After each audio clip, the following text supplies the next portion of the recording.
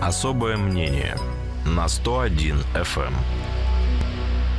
13.06 в Кирове. Программа «Особое мнение» в эфире. Я Анна Лапшина. Приветствую слушателей. Говорю здравствуйте гостю нашей студии. Это Азия Сагаев, директор аудиторской консультационной компании «Бизнес Информ» и заместитель председателя Кировского союза промышленников и предпринимателей Азия Салеевич. Добрый день. Здравствуйте. Здравствуйте, Азия Салеевич. Ну, давайте сразу же начнем там, да, с, ну, мне так кажется, самой такой громкой, может быть, новости в сфере Э, там, общественных объединений поддержки предпринимательства, да, уход с поста президента Вятской торгово-промышленной палаты Николая Липатникова. А, на смену ему придет вице-президент Андрей Усенко. А, были в студии и Николай Михайлович, и Андрей Леонидович на прошлой неделе. А, Андрей Леонидович сказал, что будет совмещать работу в общественной палате и в Вятской торгово-промышленной палате. И Николай Михайлович сказал, что не собирается совсем отходить от дел, то есть продолжит в, ну, таком, видимо, комфортном для себя режиме, да, и и э, исполнять обязанности советника губернатора, и в палате тоже работать. Угу. Это насколько э, плохая новость для Кирова? Или хорошая новость? Не знаю. Постановка вопроса. Как оцениваете? Ну, спасибо, Аня. Плохая или хорошая? Ну, что сказать, э, обоих я, значит, этих людей, или Патникова и Усенко я знаю лично знаю, и по-человечески ничего плохого, как бы сказать, не могу. А, значит, э, это заранее как бы оговариваю, чтобы у нас потом, если вдруг я что-то скажу как бы по делу, чтобы никто потом не обижался. Там. А то бывает, знаете, по делу там человека там критикнешь, так сказать, а он, значит, потом на тебя полгода обижается. Но э, Николай Михайлович давно собирался, я был в курсе, что он ну, давно собирался уходить. Ну, он говорил, что два года назад еще хотел да, это да, сделать, да. да. А, но и слава богу. Слава богу, что он нашел как бы в себе силы и может заняться как бы самим собой прежде всего в этой ситуации. Значит, э, Но ну, возраст имеете в виду, да, что ну уже ну, как-то да приходит время, когда возраст или не возраст человек э, должен заняться самим собой и здоровьем, и угу. своим духовным, так сказать, ну духовной своей, так сказать, сферой. Может быть, книги пописать, там, ну, оставшееся, так сказать, в жизни, появившееся свободное время, там, посвятить, там, внукам, ну, и так далее, и так далее. Чуть больше времени на себя тратить. Да, да, да, ну, чуть больше или все время, я думаю, что надо э, там какое-то уже оставшееся там время, от, э, освободившееся от работы, уже тратить на более полезные вещи, связанные лично с собой. Вот. То, что он там э, будет советником губернатора, я думаю, что губернатору сейчас никакие советники не нужны, потому что так коллеги советников, которые у него есть, она в принципе Э, как таковая, ну, насколько я знаю, от советников, которые есть губернатора, как бы, потому что мы в Кирове общаемся там между собой, они ему не особо нужны, они не сильно востребованы, вот, поэтому тут он, ну, я думаю, что он тоже сильно иллюзий там особенных э, не питает, ну, сказал, что да, вот поработает там советником, говорят, ну, может быть, ситуация изменится, и вдруг в связи с тем, что Николай Михайлович э, освободил большое количество там времени, в связи с тем, что ушел с этого поста, губернатор решит, что там его потенциал надо использовать ну, там. Пока еще не ушел, то да. есть там до марта, до марта ну, еще да, все да, остается да. Поэтому как прежде, тут, как тут я, я думаю, что ему как бы сильно ничего особенно э, с этой точки зрения не светит. Э, ну, просто потому что структура взаимоотношений такая. То есть э, то, как строит управление, так сказать, губернатор, ну, вот, вот это вот такое управление. Там сильно больших там советчиков, обсуждений там и так далее. Э, ну, по, по крайней мере, вот у этого губернатора и в этом правительстве там сильно не нужны, так сказать. В основном нужны общественные объединения, которые там так или иначе, в конечном итоге, одобряют или тихо помалкивают. А, Я-то как раз вас хотела спросить вот о чем. Все-таки Вятская торгово-промышленная палата относительно каких-то вот, ну, там, инициатив в том числе, mm-hmm. да, довольно громко высказывается и публично, и в этой студии в том числе. Ну, да. Вот, и э, вот смотрите, э, Николай Липатников все-таки человек, который в этой сфере работает э, там не один десяток лет, да, мы считали с 93-го года, это 27 лет получается. Да. То есть это человек, которому в городе однозначно прислушиваются, и вот он э, пост президента оставляет. Mm-hmm. Угу. Не будет ли а, проблема Вятской торгово-промышленной палаты с тем, что меньше будут прислушиваться к ней? Э, э, чтобы там не питать никаких иллюзий, в последнее время и так меньше прислушивались. Вот. Не только к Вятской Да, с торгово-промышленной палате, приходом вообще. нового губернатора к мнению торгово-промышленной палаты прислушивались гораздо меньше, чем это было при Белхе и при э, значит, Шаклейне. Шаклейне. Мгм. Поэтому тут, ну, как бы по этому поводу питать иллюзий там сильно не будем. А, Значит, что касается, так сказать, раз уже фамилия Усенко прозвучала, значит, тоже э, очень э, умный, там, логически умеющий мыслить, правильно построить предложение, там, подвешенный язык, там, и так далее, и так далее. Много положительных сторон, так сказать, у э, Андрея Леонидовича есть. А, Но э, про него можно, как бы, вот я определяю его как э, бюрократ от общественности, скажем там. Он, он уже практически состоявшийся бюрократ от общественности. Потому что вот те предложения, которые он дальше обсуждает и только под нажимом там признает, например, там, да, э, значит, после там э, возмущений там признает, что ну вообще-то повышать налоги там в нынешней ситуации это там.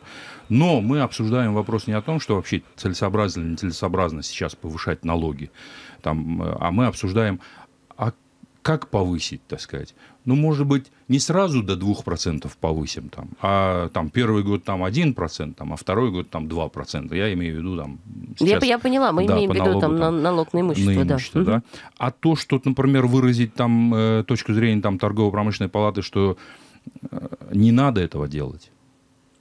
Не И- надо, и- потому и- что это и? бьет, это бьет по карманам э, не только предпринимателей, там, это бьет по карманам и просто жителей, которые там к предпринимательству Я, я, я понимаю, да, что вещи отношения. взаимосвязаны. В этих условиях, когда там шестой год подряд там падают доходы населения там, и так далее, и так далее, когда у нас закрывается значит, бизнес на территории, там, ну, я имею в виду малый бизнес и микробизнес на территории области, когда э, этот бизнес по факту был у людей, у многих людей единственным источником существования, там больших миллионов не, э, Не нажили. не зарабатывали, Мгм. да. Э, Тем не менее, так сказать, э, в этой ситуации там дальнейшее повышение налогов, и это поддерживается, там, одобряется по факту, там, молчаливо там, одобряется там, Ну, Алиевич, пода- общественными организациями. подождите, я все-таки вот в защиту общественных организаций хочу пожалуйста. сказать следующее. Да. Если вы А, считаете, что не-не-не-не-не. именно общественные организации нужно нет, защищать, нет, то пожалуйста. Нет, подождите, подождите. Вы просто сказали, что вот э, Вятская торгово-промышленная палата, э, ну, одобряет, э, пусть там с оговорками, да, что не надо так сильно повышать, одобряет повышение налогов. Да. А если она не одобрит, вы думаете, не примут?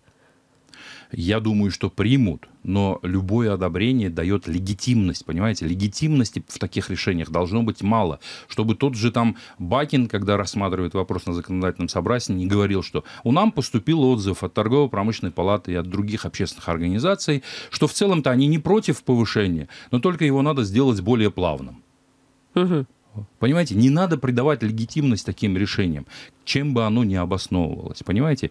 А, э, а дальше, даже если мы понимаем, что у нас сейчас такая как бы структура э, политической системы, что неодобрение там общественной организации не влечет для правящей партии ну, Абсолютно практически, ничего. практически ничего. Но и это сделали мы сами, то есть общественные организации, что для них это не влечет ничего. Потому что э, вот это вот, э, ну как это сказать, э, сидение на двух стульях, то есть сначала я как бы руководитель общественной организации, там, или наоборот, там, я руководитель общественной организации, но сначала я член Единой России. И вот то, что правящая партия как бы решила, а что правящая партия решила? Она решила, что, слушайте, э, мы все деньги-то забираем в Москву, какие вы тут зарабатываете, все налоги там, ну, по большей части там, да, зарабатываем в Москву, ну, а потом в зависимости от вашего поведения, значит, мы вам, мы вам, от процента голосов мы вам их будем давать. В принципе, сама конструкция неправильная. И в эту конструкцию, понимаете, можно ведь, как вы говорите, да, если от этого ничего не зависит, можно и дальше вписываться как бы в эту систему. Но мы видим, что эта система все больше и больше ухудшает. Ну вот смотрите, правила, Ухудшает жизнь правила людей. игры, Азиз Алиевич, я понимаю, о чем вы говорите. Правила игры, они вот сейчас такие, какие есть. И можно либо э, там сопротивляться им активно и деятельно, да, и, и вставить, ну, Да. встать в позицию такую, что вот нет, это вообще Да, как бы да. не с нами нами. Вот вы не с нами, вы против нас и против Ань. там предпринимателей. Или попытаться договориться Как и, и выцегонить, и для- выцегонить какие-то, э, Вот не знаю, вот- льготы и вот, прочее. Окей, окей. Ведь что делают нищие, когда ходят, Понятно. просят у вас, Да-да. э, значит, э, они тоже принимают ваши правила игры. Значит, ведь правила игры меняются когда? Когда они не соответствуют сегодняшним реалиям. Вот эти правила, которые установлены, они сегодня не соответствуют реалиям. Они не дают развития стране. Вы же видите. И они тоже видят. Я же не говорю, что Липатников или Усенко не видят эти правила игры, что они сегодня не соответствуют условиям развития страны. Они тоже видят. Я их с- слишком уважаю, что сказать, что они не видят. Наоборот, они видят это все.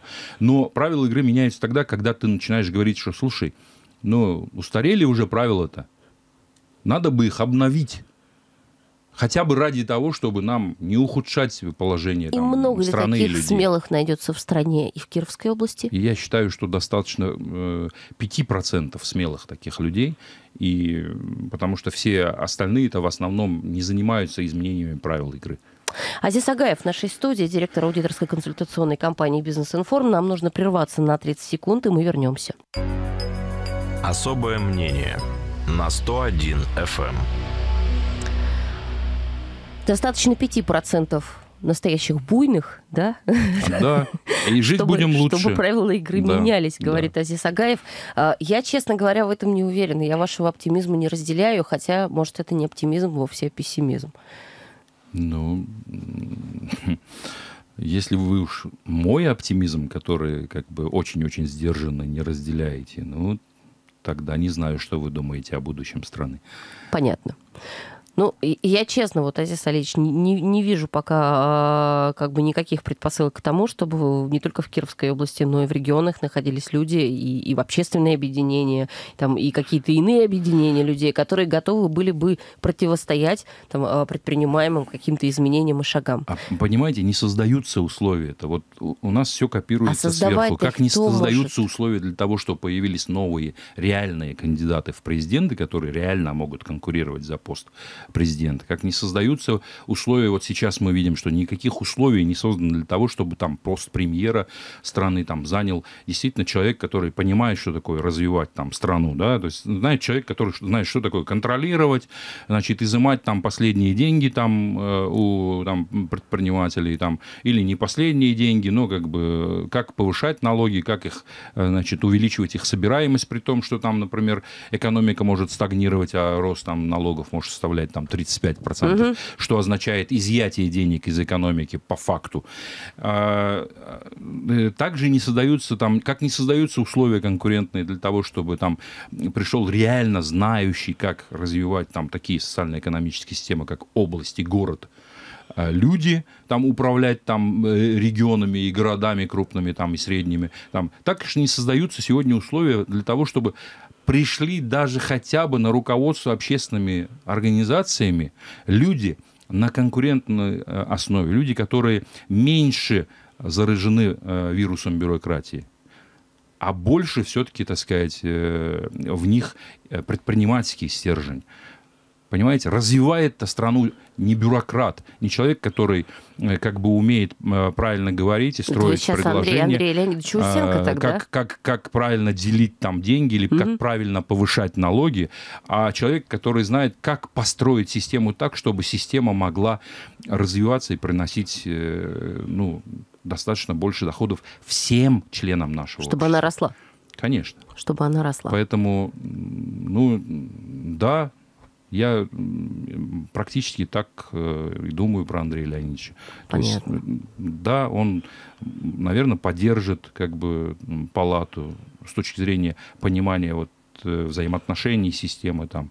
э, Мостики наведет. да, мостики там наводить и так далее, и так далее. Но что палата станет инструментом развития, ну, такого достаточно э, серьезного развития. Нет, палата будет также решать какие-то вопросы, которые препятствуют там существованию бизнеса, там, по железным дорогам, ну, очевидные, ну, уж слишком очевидные как бы проблемы, которые даже не на развитие как бы, а которые убивают бизнес там, да, вот вот такие, когда уж совсем очевидные. Гасить ну, пожар, гасить пожар. Да, гасить пожар, ну спасибо им за это, реально там сказать гасит, но там резко выступить против, например, маркировки товаров там, которые сегодня вообще ни к чему там, да, мы сейчас. Э, ну одна региональная палата не решит ничего, это должны объединиться все региональные а палаты. кто должен-то с другими региональными выступить. палатами начинать работать? Работать? Кто должен повышать-то свой голос? Ну что, мы сидим, ждем, когда другие региональные. Ну давайте свой голос там, давайте звонить другие палаты и поездим туда, чтобы там хотя бы несколько палат там в округе там э, поддержали, чтобы ну, это стало заметным. А то у нас ведь происходит, кстати, практически во всех общественных организациях. Вот что сверху как бы э, сказали, какую линию будем придерживаться, не пикните. Вот Слишком, нас... слишком договороспособный. Слишком, чрезвычайно. То есть надо быть, я не говорю, что не надо быть договороспособным. Это было бы неправильно, хотя, может быть, ко мне это больше относится, что я в меньшей мере договороспособный, там, условно говоря, да. Но нужно иногда не быть договороспособным для того, чтобы что-то продвигалось. Вы понимаете, что в конфликте мнений рождаются правильные пути. А когда конфликта нет, то есть зачем маркировать, например, э, который сейчас предлагается и двигается, например, автошины? У нас что, автошины можно в гаражах производить? Не знаю. Вот зачем их маркировать? Вот какой смысл маркировки, так сказать, автошин, например? Или э, э, сейчас там маркировка там э, будут молочных пакетов, там условно говоря. А зачем тогда система Меркурий, за которую уже люди заплатили?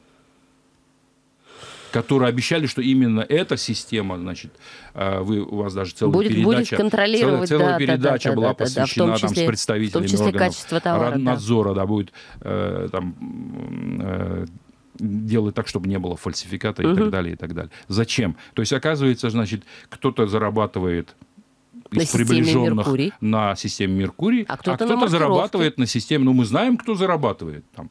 То есть и имена, как бы знаем, они многократно объявлены, но только не мы, не, не люди, не народ. То есть это деньги все уходят частный карман. В определенные частные карманы. Да. Хорошо, слушайте, вот давайте сразу же тогда про конфликт. А, завтра буквально, вероятнее всего, будет озвучена эта информация. Обещали нам, что будет сказано во вторник, mm-hmm. 28 числа. Окончательное решение с 1 февраля в Кирове должен быть а, повышен тариф на проезд в общественном транспорте. Да. А, значит, в прошлый понедельник этот вопрос обсуждался на заседании общественного совета при региональной службе по тарифам. А, обсуждается с прошлого года еще, да, у нас давно не поднимали цену, mm-hmm. по-моему, с 2017 года. 22 рубля а, тариф а, на проезд в общественном транспорте с этого года унифицировали тариф и сделали его равным для жителей Кирова, которые живут в отдаленных районах, угу. я имею в виду Бахту и Русское. И перевозчики уже активно начали жаловаться на то, что, ребят, ну, блин, побойтесь Бога, да, угу. не хватает денег. То есть мы из своего кармана оплачиваем вот это длинное плечо угу. для людей, которым вы сделали хорошо, и все понимают, что людям, которые живут в Русском и в Бахте, от этого хорошо, но перевозчики несут убытки.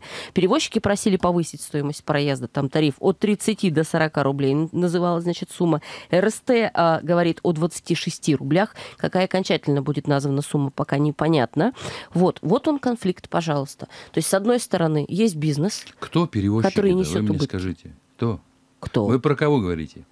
Я про, про, про муниципальные АТП, и про, муниципальные, про государственные, значит, и про частников. Там, ну, я про частников не слышал, чтобы вот прямо именно частные перевозчики, которых так или иначе стараются там задвинуть и не пустить угу. на этот рынок перевозок, особенно стараются, так сказать, люди, которые вчера говорили о конкуренции на этом рынке, а сегодня, значит, э, говорят о том, что этих частных незаконных перевозчиков надо там убрать с рынка, у нас в том такая, числе, у нас в том числе, ситуация, в том числе что... некоторые да. представители общественных организаций начинают там в комиссиях, так сказать, заталкивать эти мысли ушли непонятно куда, так сказать, да, и э, давайте сделаем сначала рынок конкурентным, без всяких вот ограничений по поводу того, что кто может. А, и потом будем говорить, надо повышать или не надо повышать. Значит, ситуация, прежде всего, вопрос задавать э, надо вот ну, первый вопрос, который я задал, что есть ограничения для людей, которые хотят заняться перевозками, и эти ограничения не оправданы практически ничем. Угу. Обычно у нас, ну, вы знаете, да, один из великих сказал, что кто готов ради безопасности, так сказать, пожертвовать своей свободой, тот не достоин ни безопасности, ни свободы.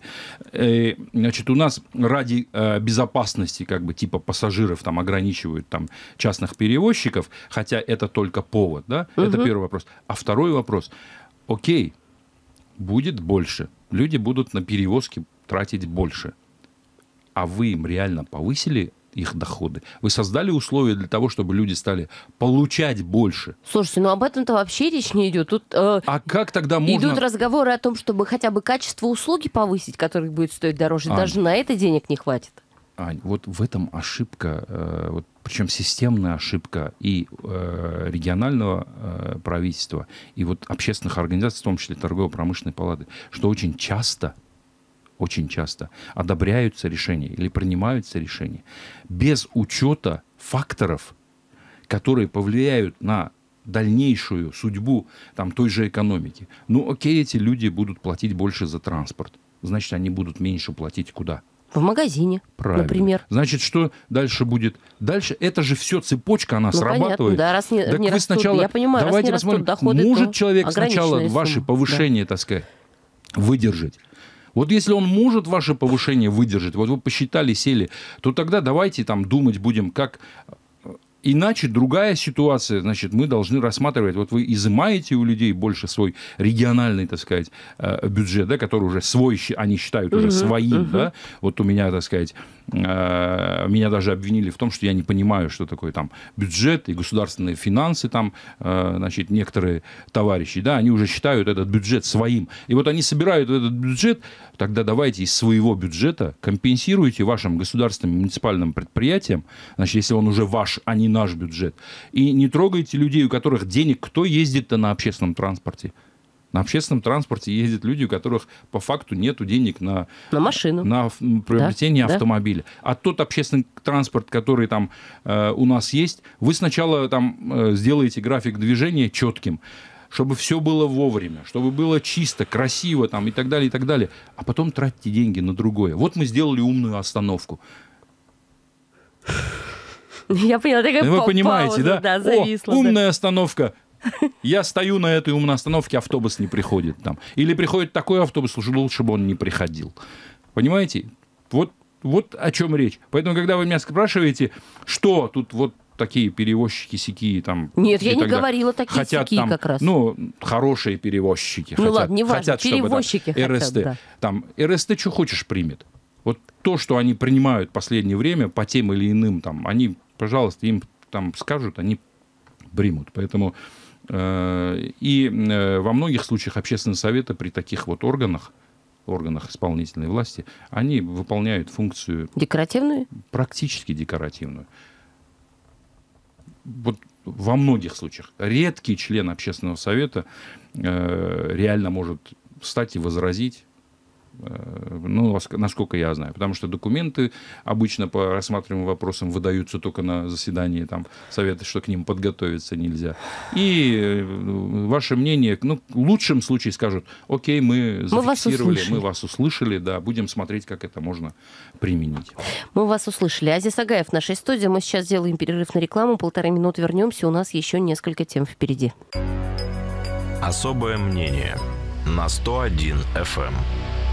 Особое мнение Азиза Агаева сегодня мы слушаем. Э, и следующий вопрос э, повестки. Да, неэффективная работа э, муниципальных предприятий. На прошлой неделе тоже на комиссии Гордумы поднимался этот вопрос. Собственно говоря, много у нас муниципальных предприятий в статусе МУПа. Есть статус акционерного общества. Ну, как бы от, этого не, от этого mm-hmm. не меняется, собственно говоря, там собственник, да. Работает неэффективно. Магазин «Детский мир», горэлектросеть, что-то что-то еще называлось. Непонятная история с центральным рынком, где сначала был назначен один директор, потом этот директор ушел теперь уже в администрацию, теперь назначен новый директор. А, контрольно-счетная палата выясняет, что еще при старых директорах центральный рынок потратил какие-то безумные деньги на корпоративы. Да какие уж А, безумные всего-то выясняется. 350 тысяч. Ну как? Слушайте, 350 тысяч денег, которые могли быть потрачены на, потрачены на что-то другое. Вот. А кто-то тут ездит, значит, на служебной Тойоте по каким-то личным делам. Что происходит, вообще непонятно. То есть в детский мир в ремонт вложили огромное количество денег, да, и, и до сих пор там еще с долгами э, по кредитам не расплатились. Продать теперь, получается, мы э, а, не можем. Это муниципальное предприятие. Вот. Эффективно оно не работает. Почему? не А можем? почему не работают городские, э, Ну, вот смотрите. городские предприятия или бюджетные предприятия? Вот смотрите, любое муниципальное предприятие. государственное предприятие, с моей точки зрения, имеет право на существование, если оно выполняет какую-то общественно значимую функцию. Вот какую общественно значимую функцию выполняет детский мир? Я не знаю, но это детский магазин, наверное. Детских магазинов полно. Так. И в них э, ассортимент и цены во многих, так сказать, гораздо лучше э, представлены. Ну, я ж не буду называть, чтобы никого не рекламировать. Мгм. Да? Э, пожалуйста, идите, покупайте, никаких проблем с этим нет. Ну, зачем? Или там гостиница «Вятка». Какую общественно значимую функцию выполняет гостиница «Вятка»? Но, по-моему, гостинице «Вятка» особо претензий не было, но да какая тем не разница, менее. есть Мгм. к ней претензии или нету претензий? Какую выполняет общественно значимую функцию? А что вы предлагаете? Я предлагаю их Продать? срочно продать. Мгм. Срочно продать. Не надо придавать этому политический смысл. Надо как бы, хоп, нету общественно э, значимых целей и задач перед э, значит, предприятием. Эти предприятия продать. Чем их меньше будет муниципальной и государственной собственности, тем проще их будет контролировать, и тем проще будет найти туда действительно реально э, эффективного и, что не менее важно, очень порядочного топ-менеджера. Это уже бизнес будет делать. Тот, который купит. И- Я имею в виду оставш... на А, оставшиеся. оставшееся- на Да. оставшееся То, время. что, да, действительно, вот у бизнеса будет это помещение там детского мира, например, там, или гостиница «Вятка», и дальше делай ты там что хочешь. Хочешь, зарабатывай прибыль, хочешь, не зарабатывай прибыль. Мы должны оставить у себя только то, что непосредственно влияет на жизнь э, и не создавать ничего такого супер нового, если это реально нет в этом никакой там особо большой необходимости. То есть муниципальные предприятия, городские, государственные должны быть ну, вот, в управлении или в собственности по минимуму. По минимуму, только по минимуму, э, там, где, э, значит, вот Есть, социальная нагрузка, так есть называемая. социальная нагрузка, и эту нагрузку бизнес не готов нести. Вот, конечно, мы можем сейчас сказать, хотя есть бизнес иногда готов кучу нагрузок нести. Пожалуйста, детские сады. Мы с вами видим, что есть частные детские сады. Есть и прекрасно работают, и, прекрасно- открываются, и растут, как открываются, грибы и после растут. дождя. Ну и- значит, значит, зарабатывают. Значит, зарабатывают. Значит, вы еще создайте им условия, вы бабки, которые отпускаете на значит, государственные учреждения, и которые очень часто неэффективно там, расходуются, потому что мы с вами читаем, что там в течение года детям ни фрукты, там, ни овощи, ничего там на еду не давали. И э, как с этим разбираться, когда любой родитель в частном детском саду может сказать, «А почему вы моему ребенку не дали там, и даже претензии там может предъявить, условно говоря, да, этому. И, э, пожалуйста, вы скажите, что, например, содержание ребенка стоит сегодня, э, значит, в государственном э, детском саду там 13-15 тысяч В месяц. в месяц. Вы скажите, ну все, окей, мы даем 13-15 тысяч, это же тоже вот эти 13-15 тысяч, если вы переходите в частный детский сад, мы вам отдаем эти 13-15 тысяч. И все, и проблема решается. То есть оставлять нужно только... э, понятно, что я в некоторых случаях упрощаю. да? Любое упрощение решается путем решения э, технических противоречий. Ну, кто знает теорию решения изобретательских задач, тот понимает, о чем я говорю. И все проблемы решаются такого рода. То есть нужно оставить по минимуму только то, что реально мы не можем, и бизнес не берет и не делает. То есть что-то, что-то, что бизнесу Но ведь не это автоматически интересно. приведет к тому, что уменьшится количество э, как бы помягче выразиться, количество людей, которые к бюджету... Э, я, я поняла, которые э, зарплату получают да, из бюджета. Да, Давайте да, так вот, скажем. Да, да, так скажем там, да. В том числе и количество контролирующих вот как бы эти муниципальные там и государственные предприятия. И в том числе непосредственно вот этих топов, которые там сидят. Потому что не каждого топа частный бизнес возьмет свой Азиз бизнес. Алич, это вот мы сейчас с вами э, рисуем картину, при которой э, появятся люди, оставшиеся без работы, и, соответственно, они не смогут вкладывать свои деньги в экономику и в развитие экономики Кировской области, потому что им не на что будет в магазинах а покупать. так они забирают из нашего кармана и точно так же опустошают, причем неэффективно опустошают наши карманы, для, Но того, чтобы, для того, чтобы выплатить им заработную плату. Но ну окей, все. так устройте всех тогда людей на заработные платы такие. Из бюджета. Из бюджета. И тогда экономика и, и будет процветать. И заживем. Да и заживем. Все будут вовремя ну, получать зарплату. Тогда вы уже что-то об утопии. Тогда, ну что, да. все нефтяные и газовые Я доходы, понимаю, что ли, да. людям отдать? Это уж такие люди. Я была бы не против, между прочим. Очень революционные. Вы бы не отказались? Конечно, нет. Ну, понятно. Я думаю, что никто бы не отказался. Пишите в Кремль. Хорошо.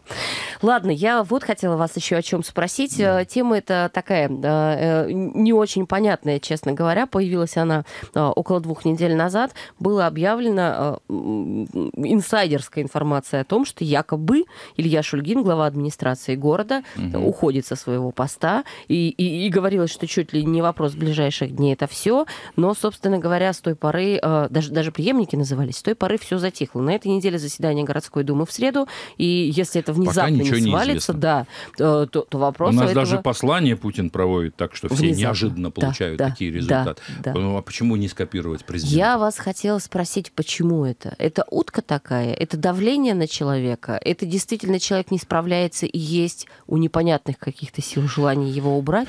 Смотрите, мое отношение к Шульгину вы знаете. Я неоднократно как бы его высказывал, да. да, озвучивал. И ну, очень коротко как бы скажу, что для меня Шульгин – человек, который ну, не может справиться с управлением такой социально-экономической системой, как город. Угу. Потому что ну, он не способен, и, б, у него нет опыта.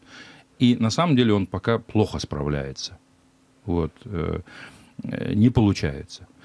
И, к сожалению, э, над ним, как бы, ну, если можно это условно назвать, над ним, так сказать, есть э, там глава, э, председатель там Думы, глава города Елена Васильевна, Елена уважаемая угу. мною Елена Васильевна, которая тоже плохо справляется с этой работой, потому что тоже плохо, у которой тоже нет опыта, не было опыта и недостаточно способности для управления, для того, чтобы хотя бы подсказывать Шульгину там, или чтобы установить с ним такие отношения, чтобы можно было как бы говорить, слушай, вот так вот надо, вот так вот надо. А мы еще и не знаем, есть ли там такие отношения, когда можно подсказывать, а, а не приказывать и не Понятно. указывать. Если нету таких отношений, значит, это на самом деле контрпродуктивно, как бы, да, это угу. непродуктивное как бы отношение. И э, поэтому, э, ну, не справляется, не справляется. Другое дело-то вот в чем. Что ведь следующего-то изберут по такой же системе, э, как и Шульгина не справляющегося? Ну, конечно, потому Без опыта? что... Да, конечно вот фамилии называются. а зачем, бы, а зачем, вы... так, а зачем менять-то тогда? Ну, надо своих людей поставить. Потому что город... Или, это... народное, или народное недовольство надо загасить. Ну, э, сказать, что... Ну, вы же знаете там анекдот про три пакета, как бы. Пришло да, время, конечно, видимо... Да. Пришло время, как бы, видимо, трех пакетов. Потому что... Три конверта. Да, Больше известно так, три конверта. Да, ну, три да. конверта там. Пришло время, Вали потому что... Меня, да. да, и придет mm-hmm. вот новый человек. Как, как бы, да, ну вот придет новый человек. Но вся проблема в том, что новый человек, он тоже не имеет. То есть мы не ищем человека с опытом туда. То есть туда ищет там региональное правительство человека, который свой. Удобный. Вот, удобный, свой будет делать то, что ему скажут, а не будет защищать интересы горожан. Вот, вот я так думаю, вот мое мнение такое. Потому что по факту я пока вижу именно только такие подходы при подборе кадров. Все, можем переходить на следующую. На следующую тему. Хорошо. У нас не так много времени остается, к сожалению, да. А, я хотела, а, Азиз Алич, попросить вас еще прокомментировать а, все-таки социальные и политические изменения на российском уровне, да. Собственно говоря, на этой же неделе в Кирове будет большое такое мероприятие. Обещают приезд федерального министра, да. Это заседание рабочей группы Госсовета образования. Много чего будет. Собственно, в пятницу пятницу анонсировали на пресс-завтраке, и на пресс-завтраке э, уже э, озвучили сумму, э, в которую оценили затрату на одну из инициатив, озвученных mm-hmm. Владимиром Путиным, а именно питание школьников с 1 по 4 класс. Собственно, вот это бесплатное питание школьников обойдется в 1 миллиард 300 миллионов рублей. Такую mm-hmm. сумму нужно в год тратить, чтобы исполнить предложение президента, сделанное во время послания Федеральному собранию. Mm-hmm. Горячим обедом. История вообще отличная со всеми социальными инициативами, но только все, что я вижу сейчас, и, и все, что я слышу от наших экспертов, это то, что пока нет никакого понимания, а все-таки кто будет платить за банкет и в каких пропорциях. Окей, okay, позволю себе немножко акцентировать ваше У меня есть ощущение, что если бы собирался платить за все федеральный бюджет, это было бы уже озвучено. Угу. Вот э, акцентирую ваше внимание на другом аспекте, потом вернусь как. Хорошо, три минуты у нас, Азиз Алиевич. А, смотрите, почему возникла необходимость э, обеспечивать горячим питанием э, школьников? Потому что родители не могут это сделать. Правильно, потому что бедность шагает широко по стране. А, и вместо того, чтобы создать условия, чтобы родители зарабатывали достаточно, чтобы их дети могли позволить себе есть достаточно, нам нам великий царь подает, значит, э, или кто там, или там, значит, совет бояр, подает определенное количество, значит, э, денег, говорит, о, нате вам, не голодайте, вот хотя бы пусть завтраки там. Возьмите рыбу. Да, а, а ужин? Может, надо обед и ужин тоже тогда детям? Ведь они бедные, родителей денег-то нет. Вы не даете им зарабатывать.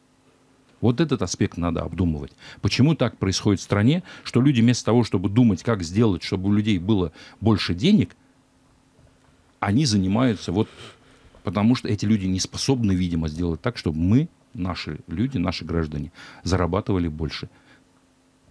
Теперь, что касается э, этих э, миллиардов. На самом деле, по сравнению с тем, сколько денег есть в бюджетах разных уровней, это ерунда. Это 1,3 миллиарда. Понятно, что если отдадут и заставят искать эти деньги в региональном, в региональном бюджете. бюджете, мы э, получим ту ситуацию, в которую когда-то Никита попал. Майские указы мы имеем Майские указы. Когда ему сказали выполнять, значит, и он пошел в банки. И потом следующий за ним губернатор начал говорить о том, что вот до чего довел региональные финансы, значит, предыдущий И губернатор. не один Никита а я пошел тут, как в банки, бы, а все, все руководители менеджер. всех регионов. Да, да, да, да, да. Вот сейчас возвращаю эти деньги, и чтобы их вернуть, и чтобы нас не лишили финансирования, мы должны еще больше залезть в карман рядовых жителей Кировской области с налогом на имущество и еще там других там налогом на транспорт, еще другими налогами. Поэтому э, то, что не озвучили, это очень странно, потому что в региональном бюджете, если я правильно понимаю... Нет, там говорилось о том, что федеральный бюджет что-то там на себя возьмет, но Во, так, да, чтобы но, но было конкретно четко пока, сказано пока нормативных по актов, конкретному пункту. Да, Нет нормативных такого. актов таких нету. Ну, ждем, ждем. Если не будет, ну, интересно мне будет, как э, в этой ситуации. Регионы будут Регион. Я бы вместе Васильева убежал бы сразу. Понятно. Этой ситуации, потому что придет ведь следующий губернатор. Три конверта. Да. Три конверта. Хорошо. Азиз Агаев, директор аудиторской консультационной компании «Бизнес Информ», а, был в нашей студии с особым мнением. Я прошу прощения, вот мы посмеялись, а на самом деле грустно, конечно, и да плакать ладно. хочется. Программа «Особое Все мнение» хорошо. завершается. Спасибо, Азиз Алиевич. Новым годом. До свидания. «Особое мнение» на 101 FM.